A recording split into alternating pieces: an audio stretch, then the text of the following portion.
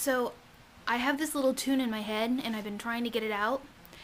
And I think I got some of it out and it's not complete.